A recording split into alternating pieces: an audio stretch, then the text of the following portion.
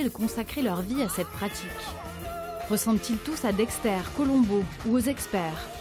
En quoi leur quotidien diffère-t-il de celui des héros de nos petits écrans? Déjà, on n'arrive pas en talons, on n'arrive pas en mini-jupe non plus. Euh, on ne donne pas euh, l'heure exacte euh, d'un décès. il est décédé à 12h12 ou quelque chose comme ça. On n'a pas les résultats des examens que nous, on demande après l'autopsie aussi rapidement que les ont. en fait, ça n'a rien à voir avec ce qu'on voit à la télévision tout le monde est à la recherche un peu de cette, euh, de cette romance, euh, voire du côté spectaculaire et notamment euh, lié à tout ce qui est la mort. Donc cette part de, de mysticisme, elle existera toujours. Passent-ils vraiment leur journée à disséquer les organes et leur soirée à essayer de faire parler les morts?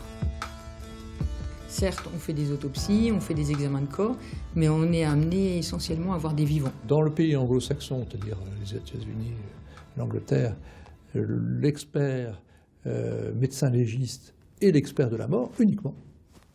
Euh, en revanche, euh, en France, le médecin légiste a une mission de protection pratiquement des personnes et de faire de la médecine sous l'œil bienveillant de, la justice. On n'est pas ni policier, ni procureur, ni juge d'instruction, ni quoi que ce soit.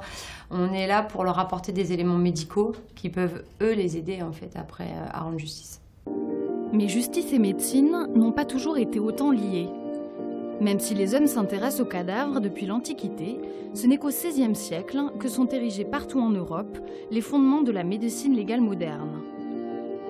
Avec son code criminel, Charles Quint impose un témoignage médical en cas de procès. Au XIXe siècle, les progrès scientifiques sont légion.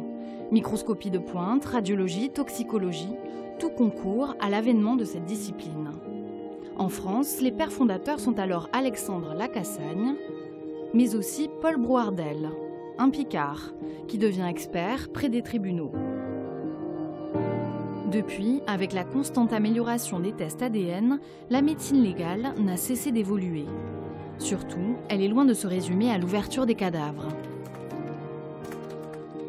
On est amené à voir des, personnes, non pas pour les soigner, hein, mais pour constater des lésions, euh, pour faire des examens euh, médicaux, collecter des preuves, etc. Donc ce n'est pas une médecine du soin, mais c'est une médecine où on est au contact de toute la population. On ne fait jamais la même chose d'une journée à l'autre. Euh, une journée, on va faire la consultation de coups et blessures. Le lendemain, on va faire les astreintes et on va faire les gardes à vue. On va aller faire les levées de corps. Le surlendemain, on va aller à la prison. Donc c'est jamais redondant. C'est ça qui est bien. Une diversité de missions que nous allons vous faire découvrir à partir de demain.